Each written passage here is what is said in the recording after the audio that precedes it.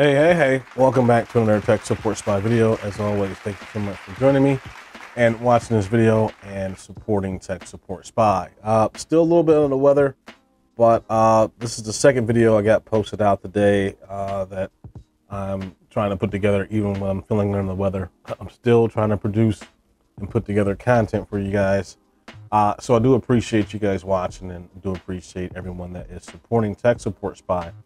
Uh, for this here, uh, if you have ever thought about how you can start to learn certain software, whether it's Windows 11, Windows, uh, if you want to look at Windows 10, even if you want to go back and remind yourself about Windows 7, you want to learn certain things about the Mac, you want to learn uh, Linux, at least kind of start yourself to, you know, scratch the surface a little bit on learning certain software, browsers, emails, uh, even smart TVs. If you want to look how, how to set up smart, smart TVs, if you don't know how to do that, there is a website that can help you uh, learn or at least start to show you how to use certain software and devices, right? And I don't think there's any video, excuse me, any video out there on YouTube that talks about this website. Um, and I'm surprised no one has, especially some of the the computer and technology uh, uh, YouTube channels out there. You know, remember Tech Support Spy is for those who are non-tech savvy. We're trying to show you how to become tech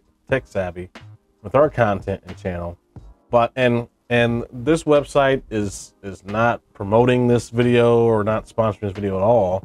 I mean, we have so many different you know websites and, and software and things that you can use, and none of those those websites or software uh, manufacturers or distributors are will end up sponsoring any of our videos.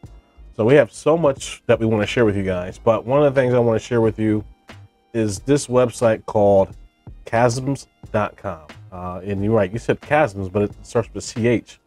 Yeah, I mean, if you look at it, chasms, C H A S M S.com, but it's supposed to be pronounced supposedly as chasms.com. And I'm pretty sure chasms would probably say yes, this is how it's supposed to be pronounced, but it's chasms.com for those who, you know, would rather just call it chasms.com.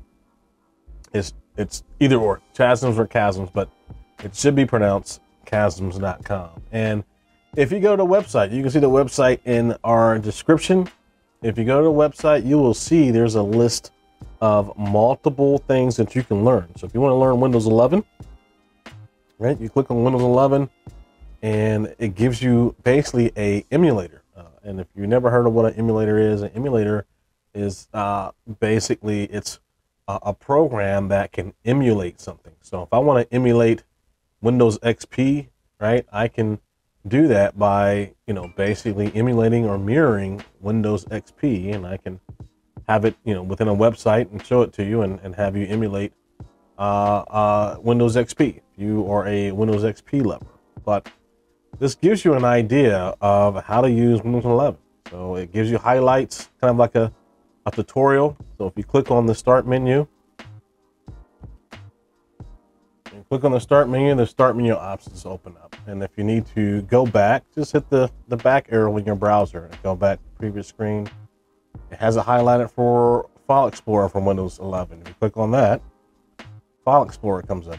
So it gives you an emulator of how to use File Explorer. You need to go back, hit the back arrow. Right? If you want to click on these things here, it kind of gives you a highlight of what you can click on to see what comes up in those certain areas. If you want to look at the Mac, you got the Mac OS uh, Monterey, Catalina. If you want to look at that, let's take a look at Catalina. Gives you certain things you can click on within Catalina. Uh, if you don't like that, then you go ahead and go back to you get back to this page here. You can look at Ubuntu. 1504 shows you Ubuntu here for the desktop and gives you the highlights of what you can click on to see what you can learn, what's in those certain areas. And then you can go click on chat, uh, chasms.com or just hit the back arrow, go back until you get back to this, this screen here.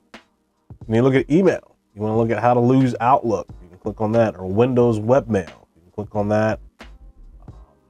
Thunderbird. I don't know if anybody remembers Thunderbird. Thunderbird. Thunderbird is an old um, email client application or software. We'll look at browsers, Safari, Chrome, you know, uh, Microsoft Edge, security of certain security software. If you got McAfee or if you got the Microsoft Security Essentials, it shows you how to use Microsoft Security Essentials. Uh, smart TVs or smartphones, your uh, iPhone, iPhone S13, or Samsung Galaxy. You want to see how that works? It gives you options of how that works. click on uh, chasms.com. It goes back to this screen here. TVs, if you want to look at a, uh, a Vizio smart TV or, or Amazon Fire Stick, right? You can shows you how to use the Amazon Fire Stick. You click on certain things here, your videos or TV shows, right?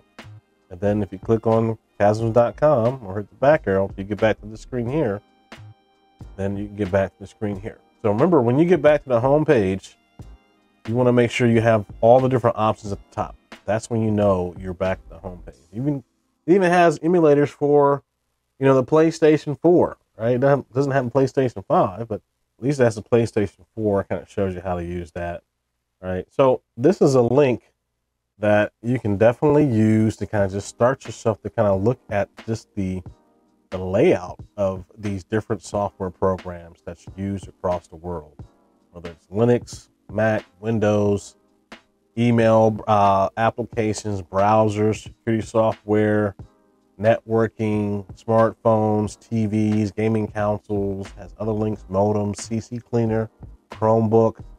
They even have certain forms. If you need to go to a certain forum and you need to post a certain, certain question about something, you can sign up for the chasms.com forum and be able to uh, post a question about the software, right? Uh, and if you look down at the bottom here, they always have certain technology news and information here on their website.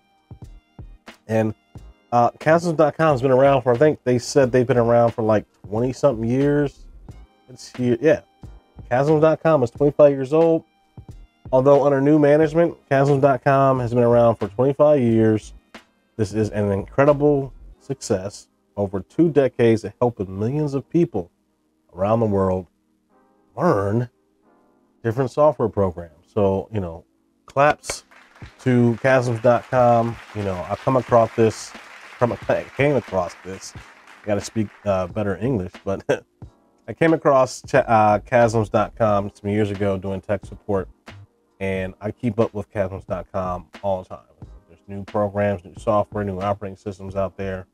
Eventually, chasms.com will have the emulator for that software. So, uh, quick nugget for you guys. Uh, go to chasms.com, C H A S M S.com or chasms.com, however you look at it. It's supposed to be pronounced chasms, but go to chasms.com and just play around with it. Play around with it. You know, as you go through certain things with it, you know, play around with it, see how far you can get.